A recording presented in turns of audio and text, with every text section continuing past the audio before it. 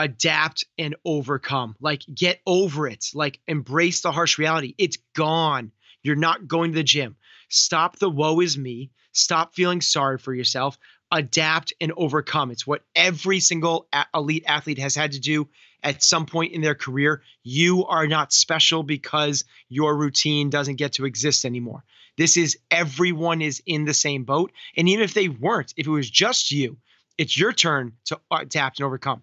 Never allow yourself in a moment to think, woe is me, to think like, oh, I don't have my routine. Oh, I can't do this. Like, just get over it and do what you can with what you got for where you are right now. We are here because we know the outcomes in our lives are within our control. That taking absolute ownership of how we eat, sleep, train, think, and connect with each other is how we'll optimize our health and happiness.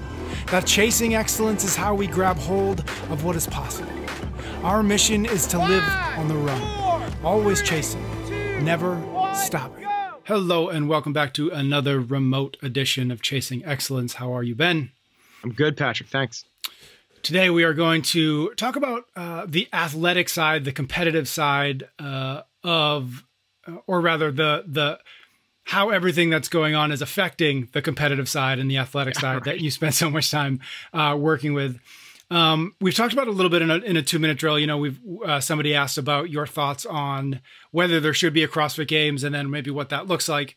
And so, um, that notwithstanding, like I don't think we have to get into the kind of the guessing game of that. But I'm really curious about guessing game is so fun though. I know it is, but um, I'm really curious about how you the the team at CompTrain, the, your athletes. Um, are one just kind of like thinking about everything that's going on, responding to all of the unknowns and all the uncertainty, and then kind of maybe segue into like, how are you guys preparing for this this unknown element now? Like before, like we all thought we knew when the games was going to be. Yeah. Now we think maybe it's September, but who even knows about that? Yeah. So like, just kind of catch us all up on everything that you you guys have been doing, working on, thinking about as it as it relates to just this competitive season. Yeah. So, um, so there's basically two different sides to what CompTrain is. there's CompTrain, which we uh, program for the masses, and there's yep. CompTrain, which I program uh, specifically for a few elite athletes, most likely, uh, most namely, um, Katrin Davidsdottir, Brooke Wells, Cole Sager. We also work with Amanda Barnhart, Sam Kwant. Um, but um, the the way those athletes um, that are preparing to try to, you know, essentially be top 10 on the podium and win the CrossFit Games, it's very specific to the CrossFit games themselves. Yeah. And because of that, what we're trying to do is actually peak. I mean, it's like no other, it's like any other sport, right? You, if you know, you have to be your absolute best when you're going to run for that gold medal 100 yard, 100, 100 meter dash. So we're trying to get them to their absolute best. And there's a science to that. There's a science to getting people up to the as fittest as they've ever been at a specific point in time. What you're alluding to is this challenge, which we don't know what that specific time is right yeah. now. So it it brings another level of complexity, uh, complexity, and another level of um, unknown to to what we're trying to do. It makes it kind of fun, honestly, because um, it's truly now we're back to this. I always I always revert back to the beginning of the early days of CrossFit, which is the unknown and the unknowable, right? It's it's what we our sport's supposed to be. It's what we're supposed to be training for. Is this is another level of the unknown. It's like it's kind of cool. Like we don't know if we're going to be have the games at all. If you don't have the games at all, your your training program looks very different, right? Because now you're trying, you have a much longer runway to try to peak for the end of July in 2001. Yeah. So that's very different. Well, what if the games are in the first week of August? Well, that's gonna be very different than if they're first week of September or October or some other time. So um, it brings into uh, brings extra variables into the equation. What we are trying to do is, uh, you know, you talked we talked about guessing in the beginning of this thing. Um, we're trying to take our best guess, but also set ourselves up so we're not putting all chips into one. Um, what's the right same thing to say there? All chips into one bucket, or I'm definitely mixing analogies there. all um, eggs in one basket. Yes, all yeah. Put all your yes. That. Put all your chickens um, in one basket. yeah. Um, so essentially what we're doing is kind of game planning for the most likely scenario, which I think is probably what we know right now is something along the lines of a limited field of athletes get invited to compete at Aromas in September. Yep. Like that's kind of like our best guess. And we're using that as our um, default program, but we're also keeping some um, some other things in. So what, first off, what that changes is it, it basically adds another um, four to six weeks of uh, training season. Yep. So we're going to be four to six weeks behind where we'd otherwise normally be on purpose. When I say behind, it doesn't mean like we're doing we're um, we're not as fit. It means basically you have more time to build foundation, more time to build base endurance, more time to work on skills, more time to work on strength. Yep. Towards the you get closer to the games, basically you're peaking your fitness out. You just got to get your your your engine up to its to its max. And when you do that, you're not able to work on a lot of the other aspects of the sport which take longer to develop. So the really long answer to your pretty simple question is uh, we are um, we're, we're, basically just pushing the whole thing out another month to month and a half, mm-hmm. um, and allowing ourselves a little more time to work on a little more of the early season stuff than we would be at this point. It's kind of weird because if we are talking like this, uh, maybe two, I guess it's two years ago, maybe three years ago, um, we'd be at regionals right now. Mm. This would be regionals. Yep. So now we have these two things, which is regionals don't exist as of last year. Yep. And right now, like no one knows where they're supposed to be in terms of fitness at all. The nice part about regionals was it created a, you know, when open regionals games, each one of those was two months apart. It gave you a really systematic approach to how to the season. Everyone got very comfortable of knowing how fit they were supposed to be at certain points. It was like real um, triggers, real um, um, bright lights in terms of like now you're going to switch gears to this, yep. and now you're going to switch gears to this. Well, that went away when they took away the the the kind of known formatting of the games, off season, open regionals games, and now this year, that's gone as well as we don't know when the games are, mm-hmm. and no one's training together at all. So it's kind of you have this other kind of unknown in terms of like well, how fit am I right now? And yeah. what should I be working on? How do you know? Because that's an interesting point. The the check marks on the calendar, like, okay, we're we're where we're supposed to be. How do you? How are you guys trying to figure out, like, okay, how how can we get as close to that as we possibly can, given all those unknowns? Is that do you just let that go as part of the process now, or are you figuring out in some way, like, okay, we've got to figure out where where we think we should be on August 1st or whatever. Yeah. Uh, the latter. You got to kind of figure out where you think you're supposed to be. You can't just kind of like free will, willy nilly this thing. I mean, you could, right? But if you did, um, that's essentially the free willy nilly thing is like we're just going to kind of be that's a, the constant ready state. Yep. And that's what CrossFit is. You're just like you're constantly ready to go. Um, at any point, you are your fittest.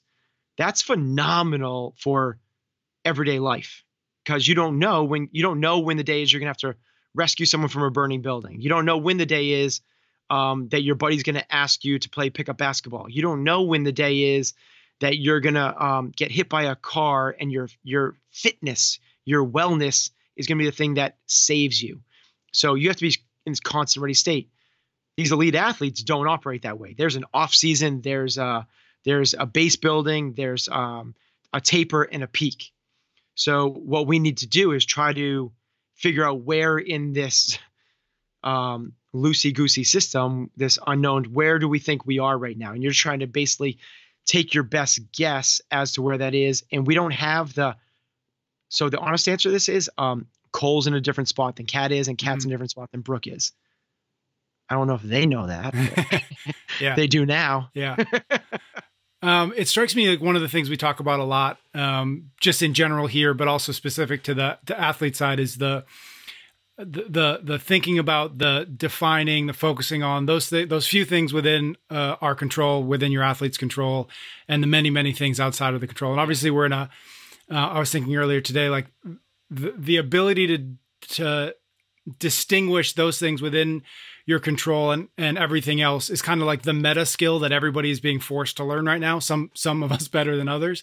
Um, but I was thinking specifically about your athletes. Like, is this going to be? Do you hope this is going to be a competitive advantage that they have whenever the games do happen, given that this is something that you that this time is notwithstand like this isn't this is different obviously but this is not something that you guys haven't thought about you haven't trained with you haven't talked about quite a bit in the years that things went great and the years that things didn't go great is this because of so much uncertainty is are the athletes who are going to be able to best focus on those few things going to have a competitive advantage this year whereas they might not have as much of an advantage any other year if things were were quote unquote normal if this thing happened five years ago, this would be a massive competitive advantage. Mm. The field has matured a lot.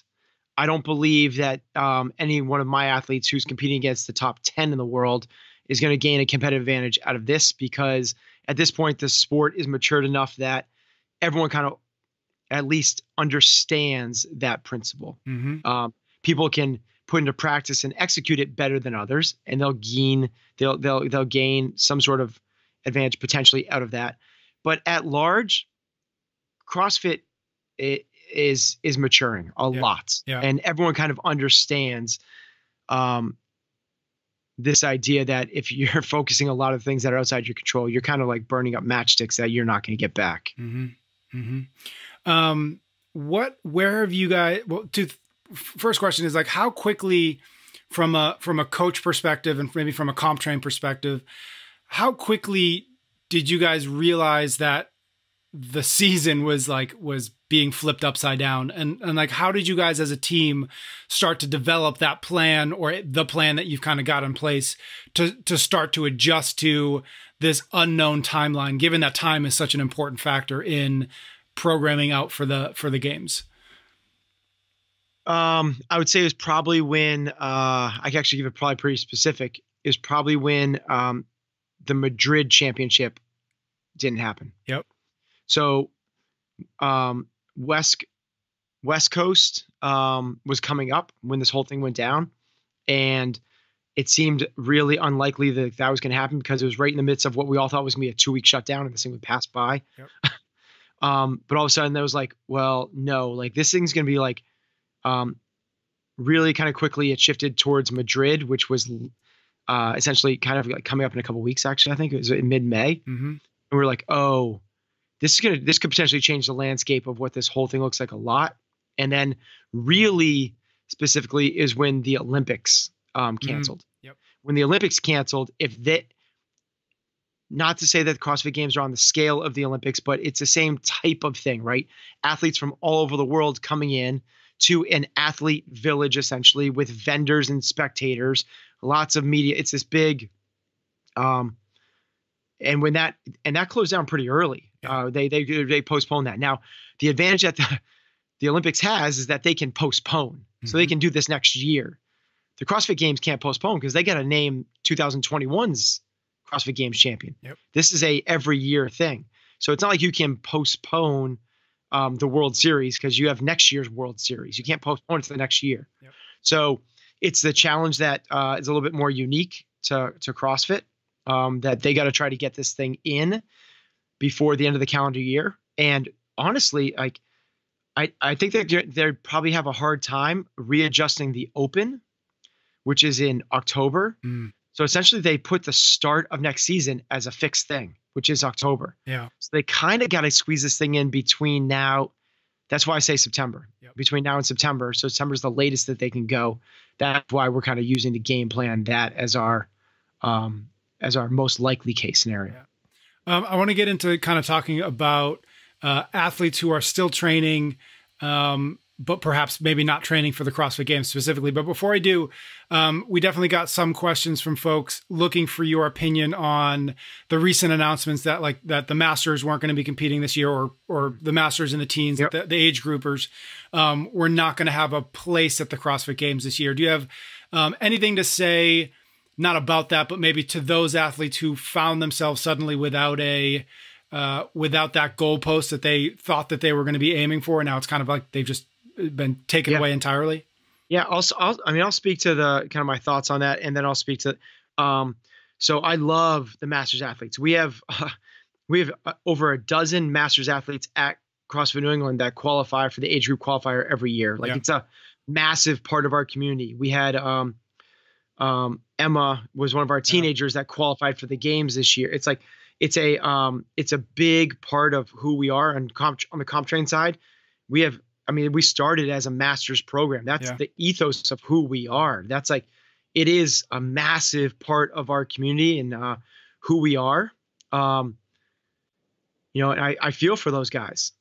At the same time, I'm I'm I could not be less surprised. Mm-hmm. Like when you think about the the challenges that the that HQ is facing in terms of this, um, like there's not. I would be shocked if there's a team competition as well. Yeah. Like, and I love the teams. We won the team affiliate cup. Like, it's not because I don't like it. It's like I'm so ultimately surprised. And this just goes back to one of our principles: is like embrace harsh realities. Like, don't be an eternal optimist. Like, it's going to work out for us. It'll happen. It'll happen. It'll happen. You're going to get your heart broken. Mm be an extreme realist. Like we talk about this all the time. Like, what's the most likely case scenario? Okay, now let's prepare for that. Prepare for, and prepare for it emotionally before it happens. Yeah. Then all of a sudden, you're expecting adversity and you're expecting to overcome it. So that's what I would encourage all of my masters and age group um, and um, team with an M, yep. fo- um, followers and athletes to to have done before this is to prepare yourself for that very likely scenario that you're not going to have a games. Like mm-hmm. get yourself emotionally prepared for that beforehand, so it's not you're not rocked. Get yourself just like we do with the games. Get yourself pre- prepared beforehand for being in dead last after the first event. Like be ready for that. Okay, now that you're ready for that, when it happens, like no big deal. Mm-hmm. if it doesn't happen, great, awesome, amazing. Like it's better than we expected. Yep. Okay, it's not a matter of like visualizing negativity. That's where people get this thing wrong. I'm not saying visualize negativity. I'm saying have a contingency plan for everything mm-hmm. from there. Then when you're walking on the floor, visualize success. That's what it means. Now, in terms of what I would suggest for those athletes going forward, the faster and the people that adapt the quickest will become out of this thing the best. What this has allowed you to do is now you have a essentially, you know, a 15 month training program for next year's games. Yeah. Like instead of what everyone what you would have had. Now is the chance, more so than ever. If you had gone to the games, what you need to do is what we just talked about. You'd have to spend this time peaking, getting incredibly fit. And I use the word fit for like metabolic conditioning, like cross crossfits, good mm-hmm. at thrusters and pull-ups and heart rate of 185 and still be able to cycle a barbell and run and all that stuff. What you can do now is take a step back, analyze yourself today, this season, and then from there, identify your weaknesses and then smash them. Like you have, you now have a chance to really, which you would not have had. The way this thing is set up now, you would have gone to the games. Okay, you would have gone to the games. You would have had to retake the whole month of August to recover. Cool. September starts. You're just getting back in the gym, and guess what happens in October? Three weeks later, yep. the Open. You're qualifying for the games again. Well, realize that now you have another shot, a really good shot of setting yourself up for next year, mm-hmm. probably in a little bit better of a position than you might have been in this year. Mm-hmm. And if you're like, no, this is my chance because I just aged up, I was in the youngest in my age group. Okay, so you can either focus and woe on the negative. Go ahead, be the person that always looks for the negative in every situation, and you will see more negative. Frequency illusion, it's one of the major biases we have in life is if you tell you to look at for the red cars, you will see more red cars. If you look for the negative, you will see it. If you look for the opportunity, which is what I just alluded to, more time to hone your weaknesses and actually forge some mental or physical things that might not might have held you back this year. Well, now all of a sudden you're looking for the blue cars, you're looking for opportunity. You will see more of them. Mm-hmm. All right, so let's get into maybe some of the nitty gritty of what um, athletes are dealing with, experiencing right now. Uh, one of the questions I, I was curious about is is your opinion on whether or not an athlete uh, and so obviously in this conversation, when I say an athlete, I mean like the comp trainers, the folks who are doing yeah. double days and all that. Um, yeah, okay. Competitors. Competitors. Yeah. Yeah. Yeah. yeah. Um, assuming that some number of them uh, are obviously locked out of their gym, they're still training, but maybe at, at with less equipment, less um, flexibility, less whatever uh, that they're used to. Um, should they assume? Should they go into this process or come out of this process? Kind of with the assumption that like I'm going to lose some of the progress that I made, and that's just the reality of this the situation. I'm not going to beat myself up over it too much, or is that an is that a is that a, a, a, a an erroneous assumption on my, my, part and in fact that you don't believe that people should be uh, you know losing progress just because of this? Erroneous. Erroneous it's a, erroneous erroneous on all accounts that's a quote from a movie i can't tell you what movie it's from i just know that's i love it do you know what it is no i have no idea but it's definitely A you're not a movie guy. I need I need somebody to like bounce movie. I, I, am a movie guy. I just have a terrible memory, so I don't remember quotes. I, I have a terrible memory. I can only remember quotes from movies, except for this one, obviously. Okay. Um, should they? Um, is is it an erroneous assumption that they're going to in this lockdown period yeah. they're going to lose capacity in some form or sense? No, it is not. And now people are going to go, well, yes, it is. Like, yes, I'm not. I can't hold my fitness. Yeah. I didn't say that. So what you want to be able to do is like give yourself um a score, like a competitor score. And what we'll do is we'll rank 10 categories, 1 to 10. So the first one's your endurance, like going long. Like mm-hmm. 5k is the minimum, right? So we're talking like 5 to 10k runs. We're talking um um 10k to marathon rows. We're talking um Murph eh, or longer. Um, we're talking like ruck runs, those type of things. So endurance. Okay. And then we'll break down 10 other categories. So now you have um, stamina. So think muscle fatigue, like 100 pull ups for time, 100 push ups for time. Like yep. think not things that take heart rate or strength, but muscle fatigue. Okay. So like um, usually that's what like, like toes to bars give up for most people. Uh, then we'll take um, some skills like what like double unders, muscle ups, handstand walking. Okay, we'll put like a score rank yourself one to 10 on 10 different things. Yep. What you'll find is you'll give yourself a score. And if you're a really good competitor, you might be in like the 70s, right? Let's say you're a seven across the board. That'd be a very competitive athlete. Well, some of those things you might be a three or a four, and other things you might be a nine or a 10. Here's what's going to happen in this period the nines or the 10s have a very likelihood that they might drop down a little bit. That's okay. What you want to do during this period is bring up the threes or the fours. This is actually your time to work on specificity mm. because what's gone is the variance we were once playing with. That variable in our program has been taken off the platform. Or other things. Maybe you don't have rings, so you can't do that. Or um, you no longer have the time because you now have to homeschool your kids. Or you don't have this or that. I get it. You have limited resources, whether it's equipment, time, or whatever it might be because of that, what you should be doing is using this as a time to lean into your weakest link. And what will happen is you will, your eight or your nine will drop down to a seven. But the goal is to bring up your four also to a seven. Then when you come out of this, your sevens across the board again, still, so you have lost zero capacity. Mm-hmm. Except what you have done is brought up your weakest link. Now, when you get back, the easiest thing to improve because it's a real thing. It's called muscle memory, is your strength. Everyone can bring up their, when I say strength, I don't mean like how much you can lift. It's a, is their wheelhouse, mm-hmm. their, their, yep. uh, their, their best thing.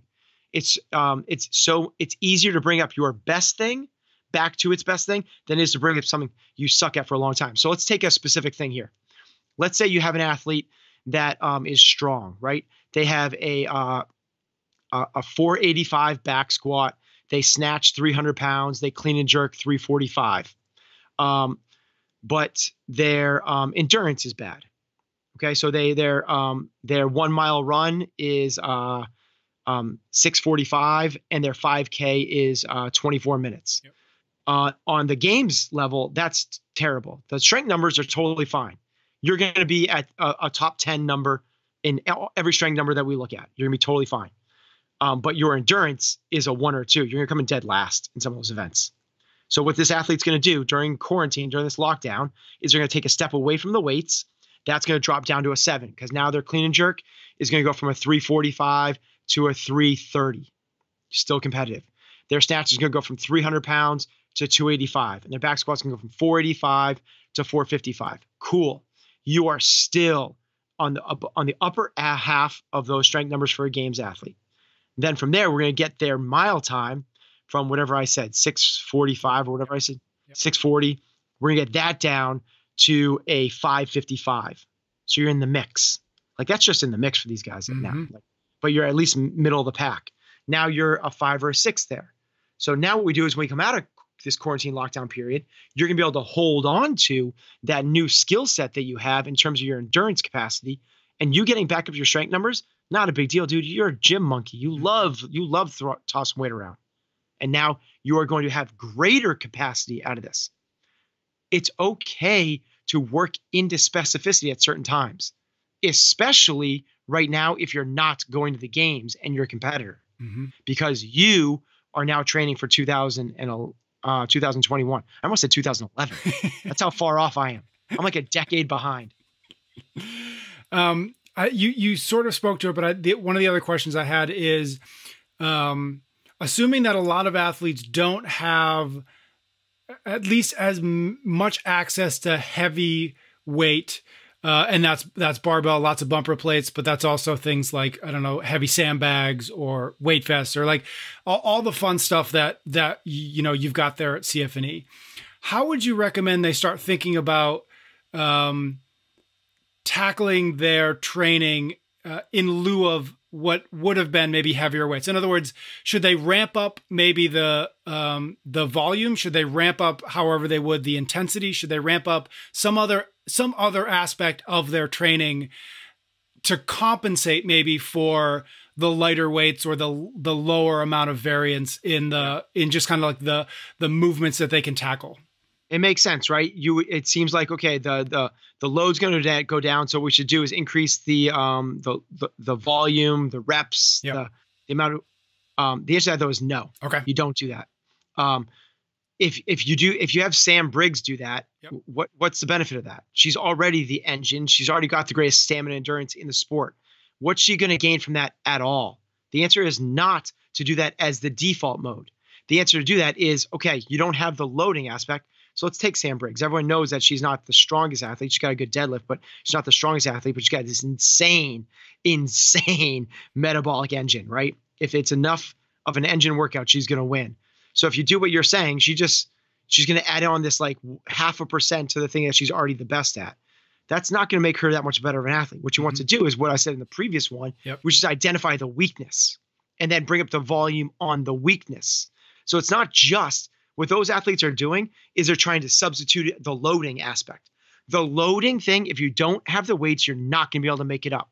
You, here's what you what this what you're trying to do is you're trying to stay strong, mm-hmm. right? By increasing the volume.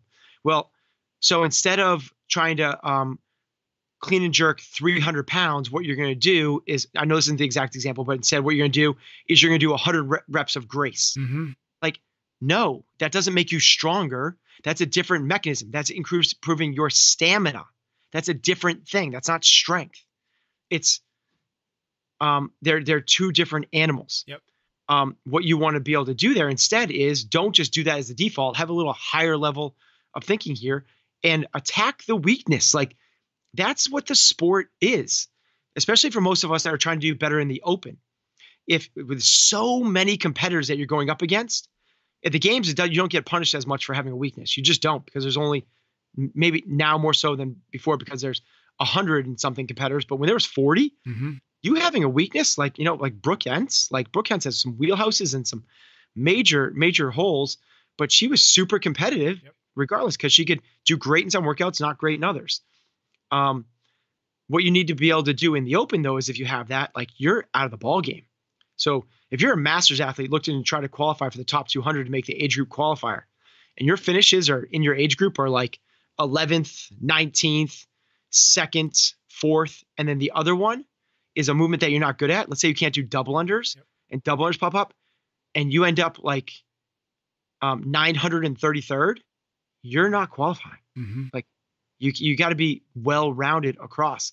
Uh, this is, I'm going to say it again, like take a step back from what you've been doing. Don't try to hold on to the same routines. Don't have the same methodology.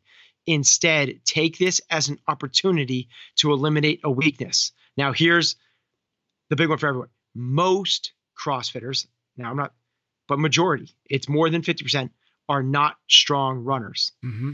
Like, what better time than ever to become proficient at running? Yeah like now I get it. That's not gonna show up in the open. It's probably not gonna show up in some online qualifiers for sanctionals. But if you're the people you were talking about when you alluded to this at the beginning, the people are doing double days and kind of competitors, those people are trying to go to san- sanctional events and try to make it to the games. Like every sanctioned event now has running. Mm-hmm. Like if they don't have running, they should not be a sanctioned event because you need I you cannot. I used to I used to run a really high level uh, event, the East Coast Championships, um, and running was not a big component of it because we weren't trying to qualify people for the games. We were trying to put on a show. Yep. So we didn't need to. It was more like a regional format until like True Form and Assault Runners came along, and then we started doing it. Um, but eh, like running is such a massive component to what fitness is. It's going to be tested at the games. Any that's putting a sanctional event that doesn't have a component of running it is really irresponsible. Mm. They all know that. Yep. So the shortcut of this is every single one's going to have running in some capacity. Yeah. Spend this time getting comfortable running six miles at a time. Like you should not have to struggle to run six miles, you know, zone two, really easy heart rate. Get really good at that. Said another way, um, or set uh, flip that around. If it's not in the endurance thing, that maybe you have an um, endurance background. Get fast. Mm. Like knock three seconds off of your 400 time. Now, if you're super competitive, you're going, what? That's impossible. You can't do that. That's not for you. You're working endurance. Yep. This is for the people that have like a, a 111 400. Like get that down to a 108. That's mm-hmm. very possible. Mm-hmm. Um, last question, maybe as we as we start to wrap up, and and you kind of alluded to it or mentioned it, is uh, one of the things I was thinking about was how um, how useful, how prevalent, how valuable good routines are for athletes, especially athletes who are um, uh, trying trying to compete at a high level, right? Um, a lot of the athletes that I know, like their their days, their their weeks are built around the the hours that they spend training. And I wonder what uh, what advice you might have for athletes who have now, you know, all of us have, but have found themselves kind of without routines or in an environment yeah. where those old routines are irrelevant for to a large part. Like how what advice do you have for folks struggling to figure out how do I how do I fit this thing back into my life? How do I yep. how do I build those routines again given that everything is different? Where do you like where do you begin to get that sort of sense um, of regularity back into their lives so that they can continue to train at the level that they want to? Okay. Um uh, two two takes on this. The, the, um, so two pieces. The first one will be like more theoretical and mindset. The next is going to be an actionable tool. The first one is adapt and overcome. Like get over it. Like embrace the harsh reality. It's gone. You're not going to the gym. Stop the woe is me. Stop feeling sorry for yourself. Adapt and overcome. It's what every single elite athlete has had to do at some point in their career, you are not special because your routine doesn't get to exist anymore. This is everyone is in the same boat. And even if they weren't, if it was just you, it's your turn to adapt and overcome. Never allow yourself in a moment to think, woe is me, to think like, oh, I don't have my routine. Oh, I can't do this. Like, just get over it and do what you can with what you got for where you are right now if you start to feel sorry for yourself because of that, like you got that's awesome. It's okay. Tr- trigger, recognize it, awareness. I'm feeling sorry for myself. Be like, use it as a thing to harden yourself again, like David Goggins style, like just like almost like, um, like get harder for the fact that you were weak. Like, damn it, I I just felt sorry for myself. Okay, I am never going to allow myself to do that. That is not who I am. I am not the person that feels sorry for himself. I am the person that adapts and overcomes. You know, like just like I am the type of person that, and fill in the blank to who you want to become. Um, by the way, there's there's psychology, there's research that says actually it's more powerful to say you are the type of person that, mm, not to yourself. Not I am. Yeah, yeah. When you say like you're, because you are not that voice in your head. You're actually telling the voice in your head to do something mm. different. Mm-hmm. Like you're you're instructing. You listen, you. Um, Matt Fraser, when I was coaching him, um, kind of brought that's like that's how he talks to himself mm. a lot. Um, in an in a really funny negative way.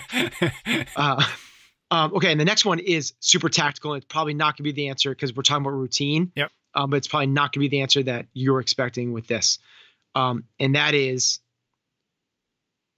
stop making workouts up for yourself. Hmm.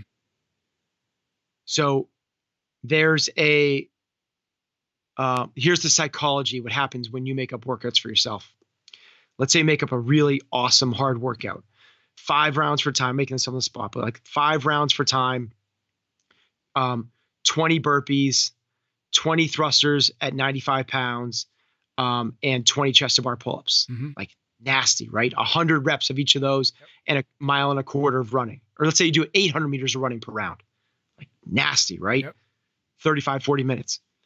Um, you make that workout up on yourself you write on the whiteboard and you start the workout. Um, in the middle of round two when you get back to those thrusters you go what what's your thought process it gets so freaking hard right what's your thought process Uh, uh, I imagine like maybe I overprogrammed this. yes Yeah. exactly maybe i overprogram this Yeah. so what you're thinking about is more about like did i program this Yeah. right is this overprogrammed should i switch it if you program for yourself i promise you that's going to be in your head Yeah. if somebody else programs for you and other people are doing it. So i'm saying is like get on comptrain type thing right? Like if it's not comptrain get on something else. But when that you trust and that's the kind of key. Yeah. you're trusting you when i'm doing those workouts like i'm not thinking that because i know Yeah. there is 200 other people doing the exact same workout as me right now. So instead of like maybe i overprogram this it's still going to get hard except what i'm going to do is i'm going to start to feel sorry for myself and then it flips back into that okay you're feeling sorry for yourself. Stop that right now. You are better than this. You are not the type of person that feels sorry for yourself. You can't program for yourself. That's it's it's such a mistake Mm. because what you're doing is every single time you're giving yourself an out. And what happens is you're thinking the wrong stuff during the workout. Instead of like how do i get better at this? How do i get faster? How do i work harder? How do i get more mentally tough and forge my uh, my my my mental fortitude and grit and tenacity you're thinking about your programming skills. That's that's not what you're supposed to be doing. That's the Yeah. coach's job. Yeah. leave that to the coach. And the second thing is if you're programming for yourself you have no one to compare your scores to. So you're the only person in the world doing this workout right now. And there is a secret that greg glassman figured out. This is this is like people don't talk about this is the secret of people talk about constantly varied functional movements performed at relatively high intensity. That's what crossfit is right? That's the secret to this whole thing. Yep. they're right. Okay so functional movements we get it. Everyday life compound movements universally found um, natural and essential. Got it. Um, um, constant variance. Okay we're going to run today we're going to row tomorrow we're going to weights gymnastics we go long we go short. Got it. High intensity. Okay it's working really hard but what's the mechanism? How do we get people to work out really hard? Glassman was the only one that figured this thing out. How do you get people i'm going to ask you patrick. What is what did glassman create? What is what was his tools? What did he do to get people to work hard? Uh, he he put their names on a whiteboard. That's exactly it a stopwatch and a whiteboard Mhm. patrick is so freaking smart So yes, a stopwatch and a whiteboard will get people to put out "Men will die for points" is the saying. It- you you I promise you, I promise you, you will work harder in tomorrow's workout if you have to tell me what your time was, Mhm. even if I'm not doing the workout. Yep. Just the fact that it's measurable, observable, and this is what people miss: observable, repeatable data. What we're doing when we're training is science measurable, observable, repeatable data. What people need to do is recognize that what you need to be able to do is make your results observable by other people. They have to see what you did. And when you do that, you work harder. Mhm. No drill sergeant, heavy metal music, Tony Robbins, no one is going to get you the motivation that a stopwatch and a whiteboard will do. Mhm. How fast you do it, post times to comments. That is the secret to intensity. And it matters because intensity is the independent variable most commonly associated with favorable adaptations. Intensity is the shortcut to getting results, Mhm. meaning the harder you work, the faster you'll see results. So during this quarantine time, people lose quote unquote motivation yeah. because they're programming for themselves and sec- subconsciously, they're not doing it consciously, subconsciously second guessing their coaching and programming abilities because they're and or what they might do is the opposite of what I said before. It's like the worst workout's too hard, I overprogrammed. The other thing is this workout was too easy, I need to do more. Yeah. And now they're overtraining. So it's like follow a program you trust. Mm. And from there, post times to comments and you will work harder. Mm-hmm. You got to take away all the second guessing and put yourself in an environment that elicits the hard work. Mm-hmm. That's how you get motivated. It's not listen to heavy metal music or meditate or um, you know watch Miracle the night before or whatever it might be. Yeah. Although I am really enjoying watching The Last Dance. Have you seen that? No, what is that? It's a Michael Jordan. It's a oh, story. of, yeah, no, I haven't seen the, it. the Bulls. Uh, it's it's phenomenal. Very cool. Yeah. Um, yeah, we've talked about the we've talked about in a number of episodes the the power and the value of the right environment, and so that's kind of what I'm hearing from uh, from the question of like, well, my routine's off. How do I kind of get myself back into it? Is is yes, the the physical environment might not be perfect, but you can still get kind of the the motivational environment if you plug yourself into Yeah. the right you know plug yourself into the right outlet again whether that's Yeah. CompTrain or something similar right and let and let that be the the the Find your new you. virtual environment. yeah exactly Exactly. yeah love it all right my man thank you very much uh we're gonna be back next week and uh everybody stay safe stay sane take care you can get every episode of Chasing Excellence wherever you listen to your podcasts or on YouTube. Until next time, thank you for listening.